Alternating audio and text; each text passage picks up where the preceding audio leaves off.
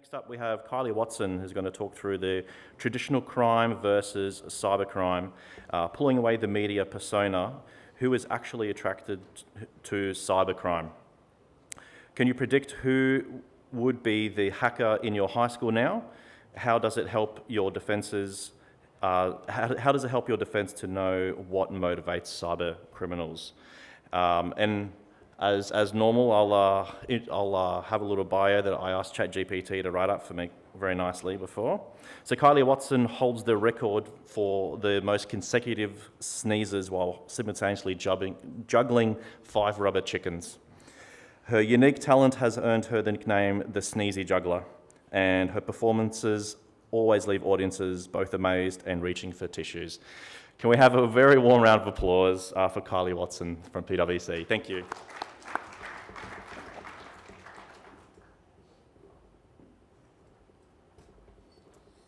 Thank you for that. I don't think I've ever been introduced along with rubber chickens, so that's um, quite interesting.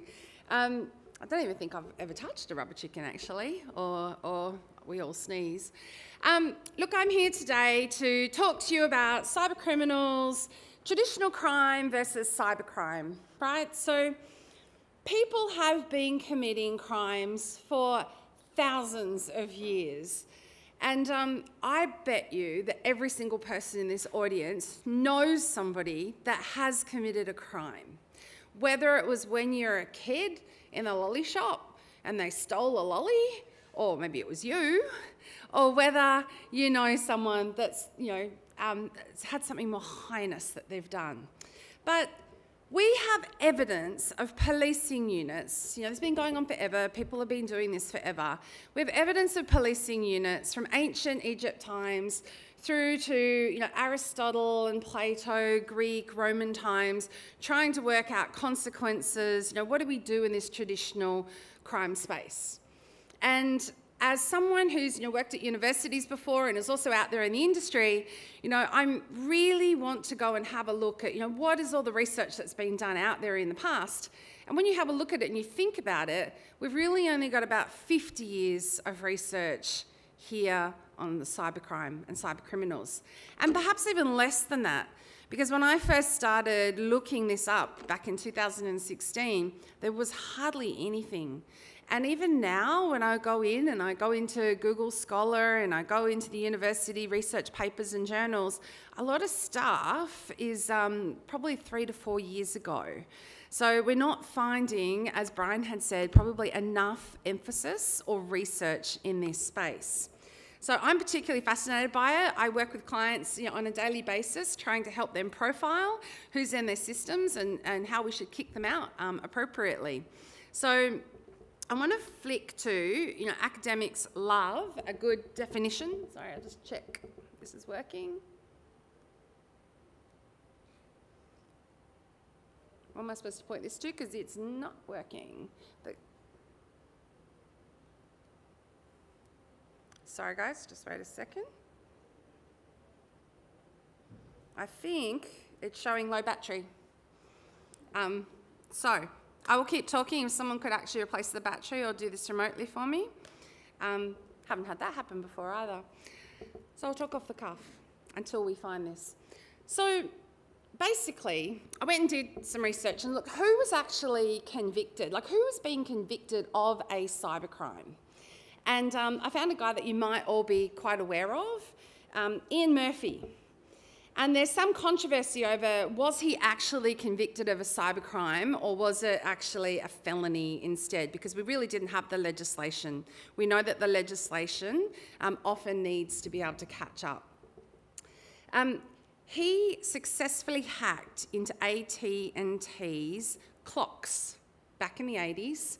And what he did was he changed the metering billing rate times so that he would be able to you know, make the calls and other people and friends that he knew were able to make the calls and it would cost them less at certain times. I think it was around midday or something. So if we have a look at that and then we have a look at the nature of the kind of cybercrime that we have now, it is radically different. So although it's been around for about 50, 60 years, those types of crimes are quite different to what we're seeing today in the everyday. Still new. Oh, got it. use this one. Okay, cool. Um, and you can see a definition up there. Okay, it differs to traditional crime. There's no physical or geographic boundaries and can be conducted with less effort, greater ease, and a greater speed than traditional crime. Okay, I don't have to tell this audience that it's becoming a bit of a nightmare.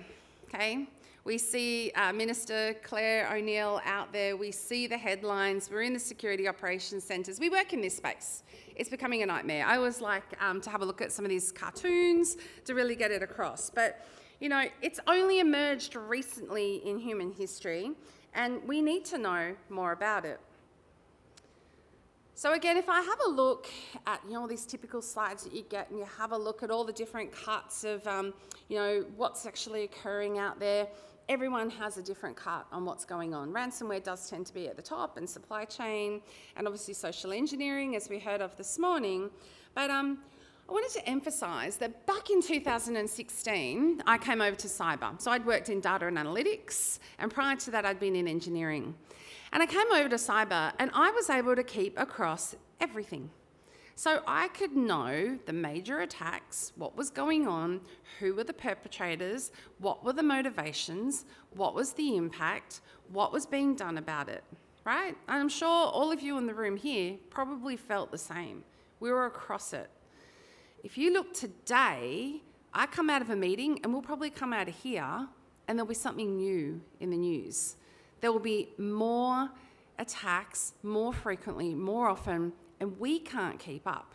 And I'm sure it'd be interesting in the conversations that you have at lunchtime to just go and, you know, say, oh, what do you think of the recent X attack? And just see, um, you know, how much people actually might know about that one. Don't make them feel bad about it, but I can bet you that you're probably across a whole raft of attacks that are different to what someone else is across. And it could be depending on your industry, but the idea is that it's thicker, faster than ever before. And we have all these cuts about, you know, who are the criminals and how do we classify them. Um, we classify them, but I like to go deeper on motivations. And you can see there that insider threats are across all of these. Later, I'm going to talk to you a little bit about um, the espionage, criminal, and then hacktivists and sabotage in more detail. But um, what I really wanted to do was draw your attention to there's heaps of theories out there, and I'm not going to bore you with theory. I'm going to try and interest you with some of the theories so you can take it back and apply it. But basically, um, I want to look at who's attracted to cybercrime, the psychology behind those attracted to cybercrime, and the theory. So I've got four theories I'll touch on. A case study, and just try to map that back to some of the profiling and the theories. And then um, obviously we're going back to this theme about thinking about, you know, who do you think might have been a hacker back in high school, right? You think about it, some of you might even know someone that's been convicted now, but um, you know, who would that might have been? And then touch on, as Brian had said, why does it matter? And probably have similar themes to Brian, who was in the room before me, talking about serial killers and cyber um, criminals. So have a look at those linkages. So who is attracted to cybercrime? I have been working on a literature review. I've just put in a paper recently to the International Cybersecurity Journal. Some of you might know about that. It's been going for years, um, and that will come out shortly. Once I did that, I said, oh, there's a big gap here. I actually really want to get into the profiling. Like the profiling is significantly weak and you think about traditional crime, and we all know about detectives, we all see the TV shows, we all see the profile, and we all hear about the interventions that they try to enact, right, to be able to address the issue or to get better at convicting people once caught. So either early intervention or better at the conviction space. Um, what I've got here today for you is not 100% accurate, it is a living, breathing piece of research. I'm thinking I'll probably put ChatGPT onto it. I haven't done it yet. I've actually used real life humans that I have access to in universities and myself to come up with this and go across. We went across 30 different reports um, looking at you know anything that touched on the profiling, and we looked at 20 criminal convictions. So what I've done is aggregated this data to be able to give you some insights and have a bit of fun with this to see, you know, what are the actual demographics? Who is doing this? There is a scarcity of available data, okay? It is really scarce. And one of my biggest messages is always to encourage people to try and go out there and encourage more to be done in this space. So, if we have a look here, I'll move over here. Age. Actually, everyone stand up in the room. Please stand up in the room. I promise you don't have to do anything more than stand up or sit down. Just stand up in the room. Okay, I won't embarrass you, but I think it'll give a, a, good indication. And, and those that can't, that's okay. Maybe put your hand up, Daisy and others. Um, okay, age. If you're between 16 and 50, stay standing. If you're a male, stay standing. But now, if you're female, stand back up again. 30% of women have been known to be cyber criminals in the information that we've been collected. In Russia, it was 51.5%. So many people think and have this stereotype in their head of a traditional cyber criminal doesn't tend to be female. Maybe that's because there's only about 18% of us in the workforce. This is not a stat I want women to be um, reaching, by the way, okay? So let's keep that one down a bit if we can, but stay standing. Okay, tertiary educated. So that would mean, you TAFE, if you've got micro credentials and um, badges, I'll probably include those as well. University degree. So if you have those, keep standing. You mainly work in IT. Yeah, that, that's probably a given. Oh, we got some sitting down. Um, you have access to technology. So you can see this profiling. We've got quite a few people in the room here still standing. Look around quite a few younger ones had a parent that worked in IT. But let's just get everyone who's got a parent that works in IT to stay standing and the rest of you can sit down. Significant, right? Yeah. Looking around, who's a potential cyber criminal? If you're single, and this is where, you know, um, you really don't have to admit this to everyone, although you know, it could be interesting later tonight. If you're single, stay standing. okay. And if you live with your parents, stay standing. What's your name? Daddy, I'm so sorry. okay. What about this one? Strong attention to detail? Yeah? Okay. Don't worry, you can sit down, Danny. Oh, sorry, and there was a female up the back there too, was there? Yeah, sorry, what was your name? Okay, maybe you and Danny should talk later. so, some other really interesting demographics here, and um, that was just a bit of fun to show you, you know, in terms of statistically in a, in a room, uh, to have a look around and say, you know, there's potentiality everywhere. Uh, they tend to have low self control, right? So, a lot of online shopping, and I'm a bit guilty of that myself, my husband would say um, and, a, and, a, gaming addiction. So usually in that space of, um, you know, potentially not casinos and things, but more on what we know as the video gaming side of things, as we sit here in a casino. Um, no previous criminal history. Really interestingly, most people who are convicted have no previous criminal history. This is similar to what was presented in the earlier talk narcissistic or ASD traits. Now, I have a daughter that has ASD traits. She actually wants to, when she finishes year 12, um, be a specialist in serial killers, um, which worried me at first until I realised that they're predominantly men and um, she probably doesn't fit that profile yet. So I'll, I'll let her explore that um, profiling as a career. Perhaps her mum being in criminology helps with that a bit. But narcissistic traits, you know, quite egotistical, um, a really strong belief in themselves. And I think we all know the most typical narcissist that we could probably agree on would be Donald Trump, right? So very similar types of traits if you're not sure what narcissistic traits are. Interestingly, usually recruited when they're um, at university or unemployed. And when you think about that, you've got more time on your hands, you've got a more flexible work schedule. Um, you know, it's just a thing that they are the targets. So, interestingly, that continues through. So, they get a job and they will continue through the cyber criminology. Okay, so they don't just stop being a cyber criminal, but that is when they're recruited primarily. More than half, we found, of the cases in the US that were cyber criminal cases were actually involving more than one offender. So, suggesting a group based activity, and I think we all know that. We hear about the cyber criminal groups and gangs, so um, that aligns there. And then, really interesting, I found this stat interesting, so I made them go and explore it a bit deeper.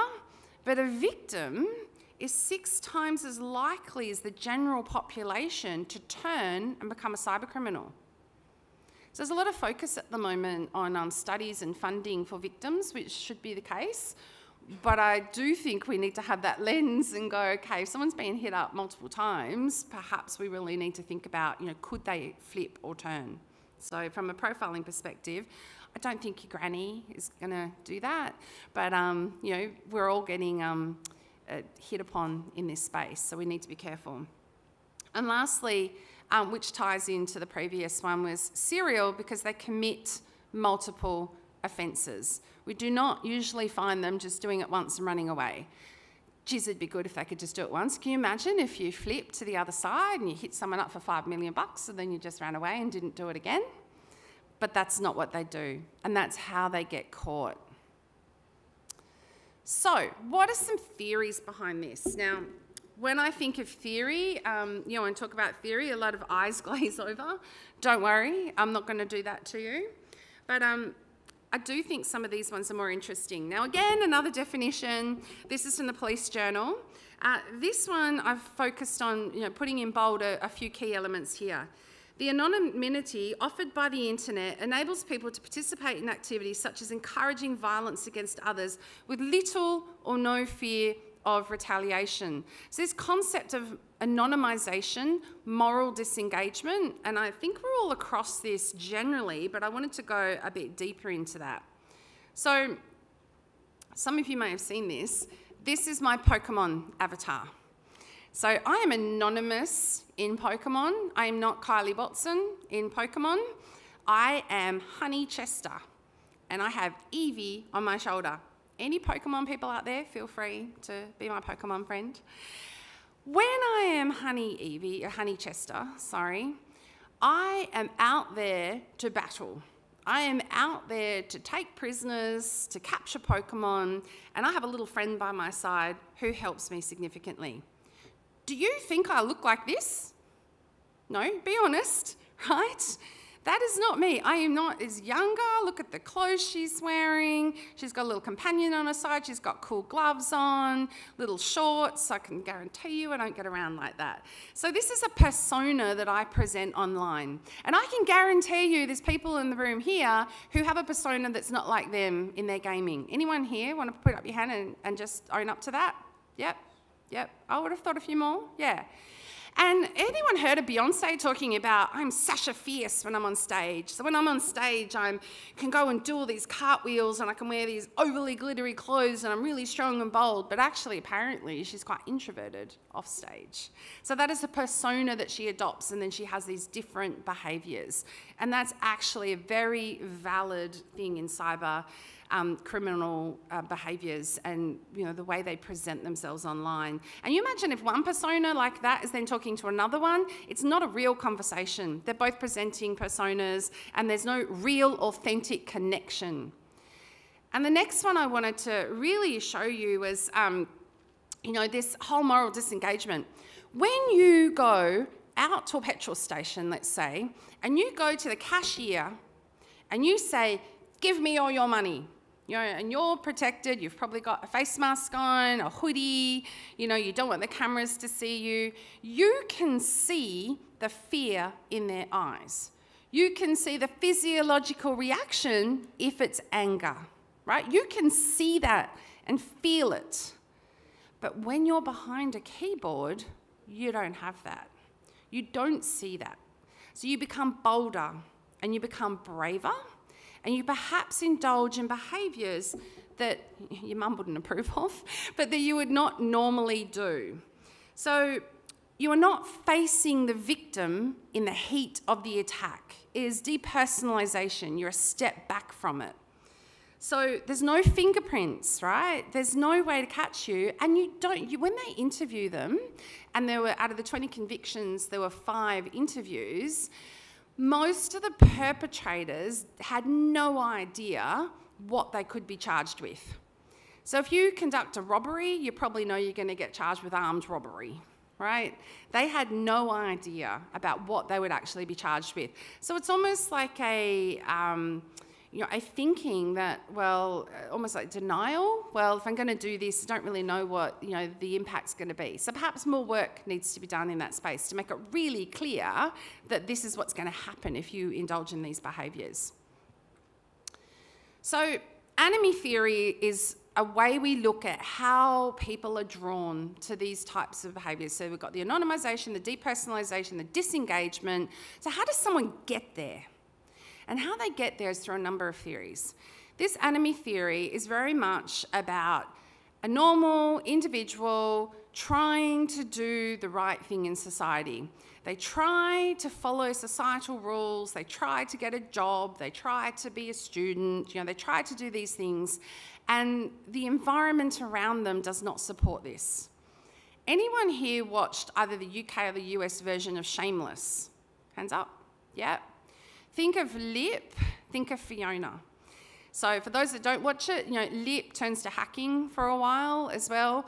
But everything he does, you know, he starts off trying to get a line, trying to do the right thing, and he's just brought down by societal pressures around him, by the need to feed the family, by what other people are saying to him. He tries to get a mentor in the university, but he's just wired for failure because of the people around him. And his sister Fiona is quite similar, although in a, it's a fictional TV series, but she does end up being able to escape by having to leave all of that behind completely and start afresh somewhere new.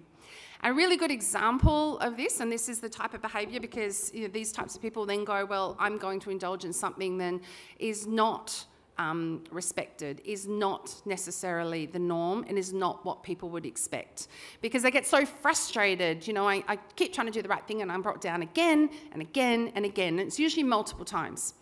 I had someone that um, worked with me that went to school with um, my husband who came and worked in my team.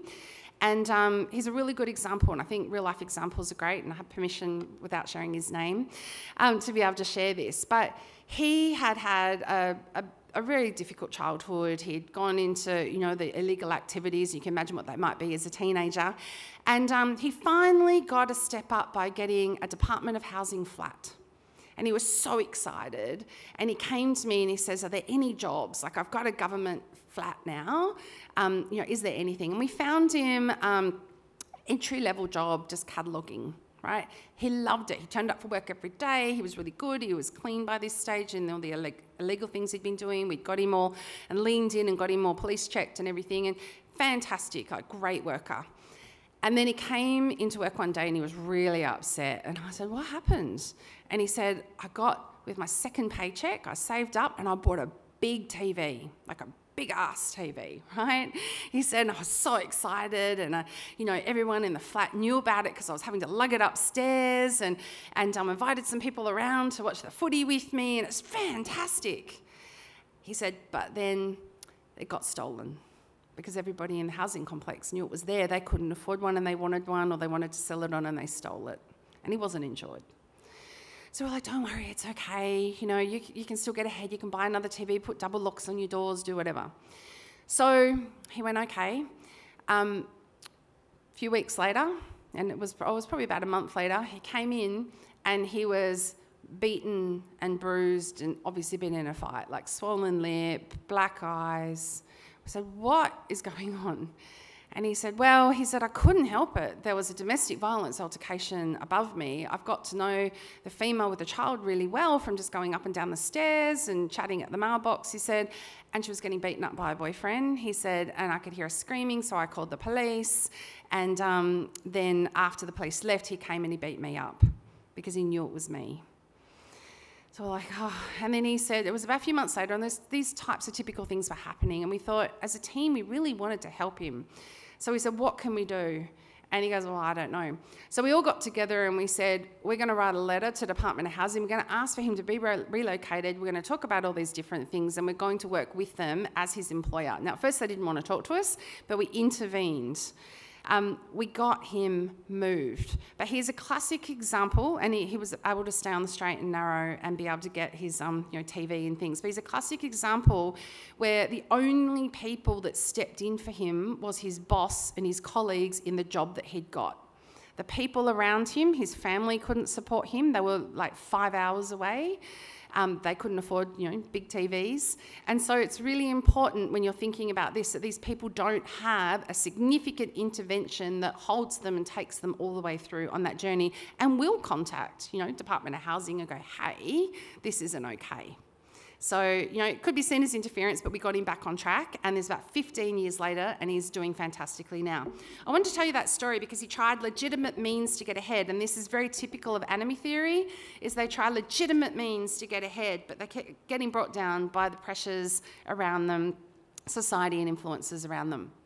So this then leans into another theory, right? This is strain theory. You don't have to remember all these theories, but I think they're, they're pretty interesting in that um, what Merton um, said, who was an academic in this space in criminology, was that we have these five sort of key areas um, that show an indication of crime. And we're taking this to cybercrime as well. And the first one was, which I hope everyone in the room here is, is the conformity. We turn up to work every day, they do the right thing, you know, we get paid at the end of the day, we're a good societal member, we contribute and give back. Okay?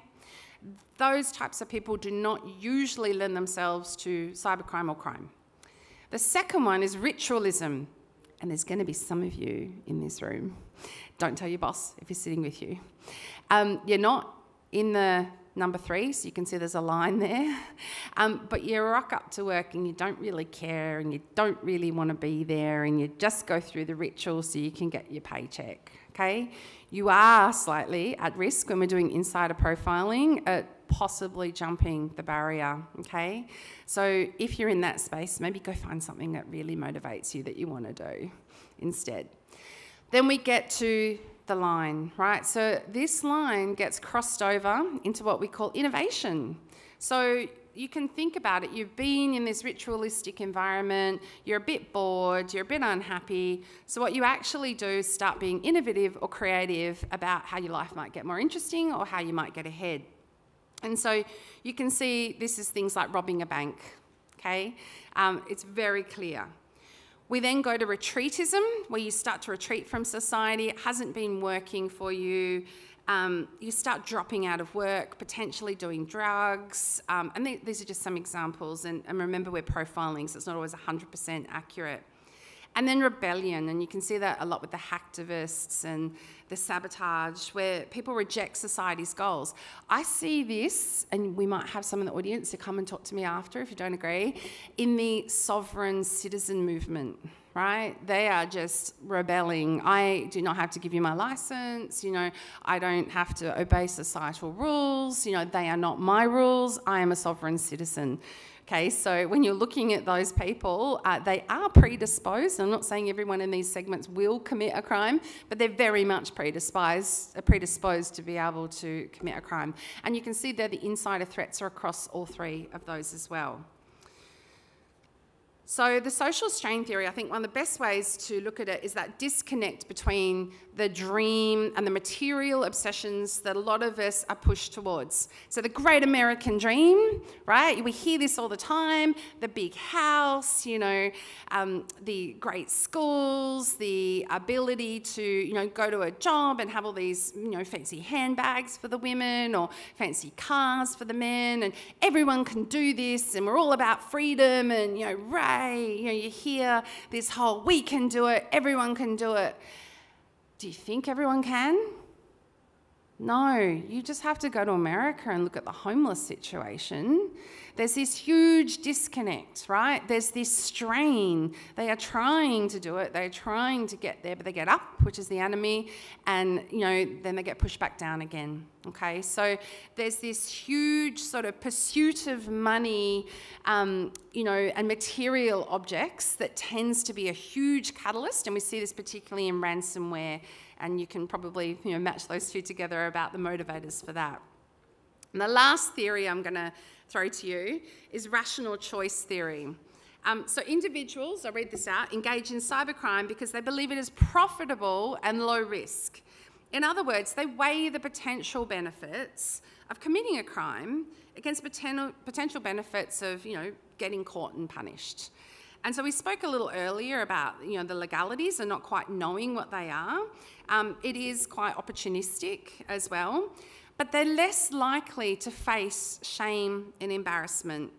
They have the remoteness of the victims that they're attacking it's really easy for them to execute. We just saw in this morning's keynote, right, how easy it can be to execute, particularly for social engineering. And they have a vast array of tools, you know, in ransomware with ransomware as a service and a whole bunch of patterns and things that you can buy on the dark web quite easily. And they, um, they do tend to replicate their attacks quite um, easily because they just buy something and they just repeat it on different victims again and again and again. But you can see in this theory that the benefits of committing this crime you know, outweigh the risk because they can't really see what the legal implications will be. We don't really arrest that many cyber criminals, and it's pretty easy to do. So, you know, if you're a, a little bit opportunistic or a little bit lazy, you know, let, let's go here. So that's another theory in that space as well. So I wanted to quickly touch on a case study to be able to map this back for you. And this is a recent one. I don't know uh, anyone in the room across this one because this was March this year. This is the AFP, put this one out. So this was a cybercrime syndicate dismantled, you know, $1.7 million was laundered. Um, there were four members of this syndicate. They're accused of money laundering $1.7 million in stolen cash from Australian and overseas victims. They were charged in Brisbane, Adelaide, and Melbourne. So you can see instantly here there's a group. So I mentioned in that profiling before about 50% of those that had been um, convicted were part of a group. So they're part of a group. Um, they're also geographically spread, although it's within Australia. The AFP, this is from the statement, alleges the syndicate orchestrated more than 15 sophisticated cybercrime incidents, so sophisticated, so intellectually smart, between January 2020 and March 2023, so a few months ago, and set up more than 80 bank accounts with stolen identities to help transfer the money out of Australia. These are serial offenders.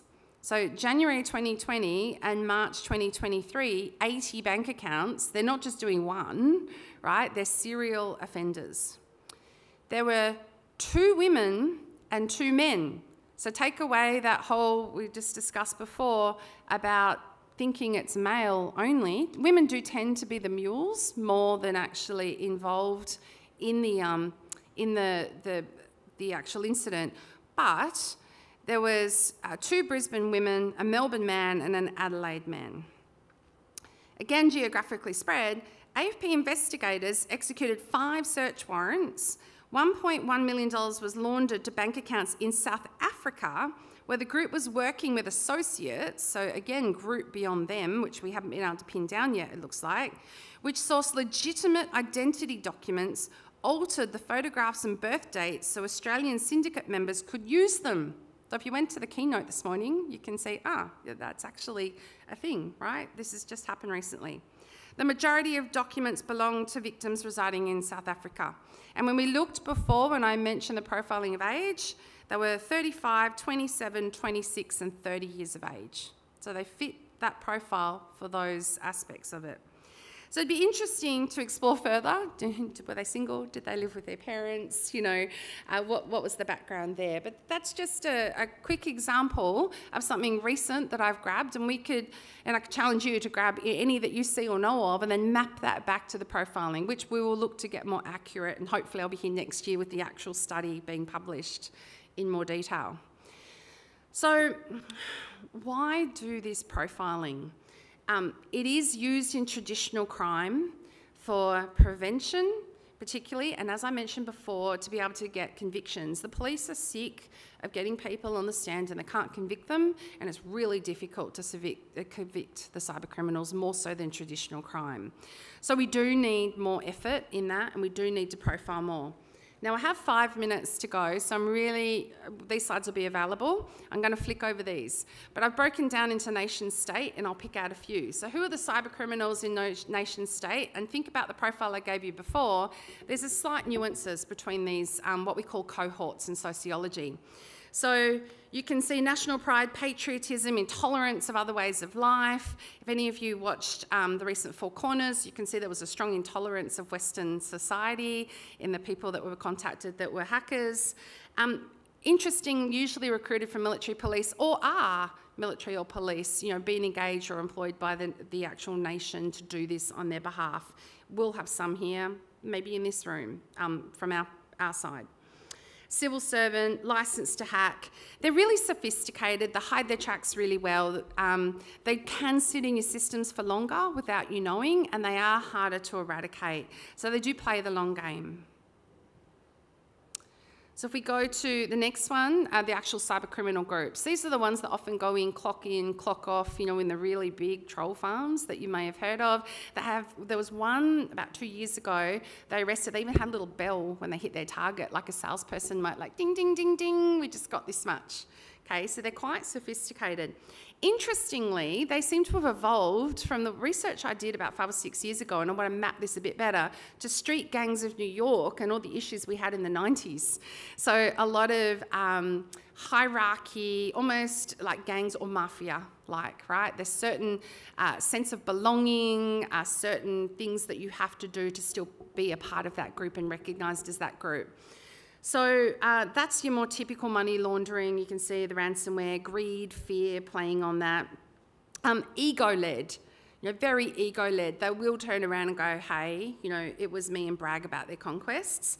They're not as sophisticated. Some are, right, uh, but only a few. Most of them tend to be the smaller groups, um, you know, and it's the quick buck if they can do it. And they reuse, those in security operations centres know this, they reuse the patterns and the vectors from one to the other. So can you imagine if we actually shared the cyber threat intelligence more, how much we'd be able to um, get insights and be able to prevent these things from happening. Because I go into various um, SOCs and I see threats and I go, but that pattern was just used over here a few weeks ago, right? But they don't know that in there because they weren't in the other organisation a few weeks ago. Um, and then again, the hacktivist sabotage. I should probably break out the sabotage a little bit from that because the sabotage are less likely to be involved in physical protests. These ones are probably the smartest. They're, they're the ones that you know potentially are out there protesting. They have social um, you know, things that they want change. They're passionate. They're angry. Um, they do tend to move in a group. They are predominantly young males, usually at university. Um, and they tend to have emotional regulation issues. Now, I need to explore that a little bit, so don't take me 100% on that, but that's the early findings that we're getting now. And you can have a look at this, but the types of attacks um, that they have and the, the patterns we're exploring a bit more. So, wrapping up, why does it matter? Like, who cares? Why, why, do we need to know this? Well, like I said before, if there was more information sharing about the vectors and the patterns and your typical types of things that they're using between organisations, well, that will help. But I'm more about the understanding the profiling because we all know in policing, in detective units, you know, in profiling units, behavioural analysis, that we can get in there a little bit earlier, we can intervene um, in various elements. It's very hard to map what you prevented we all know that, right? How many people in cyber go to the board and go, well, we did all these great things, so therefore we weren't attacked, but how do you actually put dollars on that, right? It's really hard to measure, well, this didn't happen. It's easier to measure, you know, this is what happened. So we want to be able to um, get better at doing that. Um, most cybercrimes are serial in nature, so I think if we can find out what those patterns are, that will help us um, a little better in this and the signature and modus operandi, like the talk before me, which was about serial killers and how we get better at identifying them and cracking down on them, um, is very similar. We want to be able to get in there and get the insights into that. So I just want to go back to um, you know, what we talked about before about, you know, could you profile the hacker from high school? And I did the little exercise in the room. Um, please don't take offence um, to my two upstanding people. But um, think about the people around you, you know, and think about that profile and um, think about social engineering attacks and things as well, and just um, just know a little bit more and look a little bit more at that side of it because we get embedded, particularly in the SOCs, particularly in the policy, in the compliance, in the technology. You know, my job as a cyber sociologist is to look at the people and the process, and the, what Gartner's come out with lately is the human-centered security design. And I think if we know more about that, then we're going to be able to um, have better defensive mechanisms. We're going to go know a little bit more. Maybe we can take Australia off being in the top. Um, what, what are we? The top five of attacks or something? I was looking at the the boards yesterday. Interesting. I found Iceland in the top 100. Had a conversation with someone about that, and they gave me insight. I'm happy to unpack that a little bit later with someone. Um, but yeah, Brian was right. We need more research into this. We need to know more about it, and it's interesting, right? So if anyone wants to have a chat to me later about any of the research, you want to get involved in the research, um, you are. Sometimes I've given these talks and in different areas, and I've had a criminologist in the room come and say hi because you know I absolutely want to do more with you. But thank you, everyone. Um, you can reach me on LinkedIn. There's my little QR code if you want to reach out and um, yeah, contact me with any anything else. I think we're near time. Thank you very much, Kylie. Can we have a round of applause for Kylie Watson?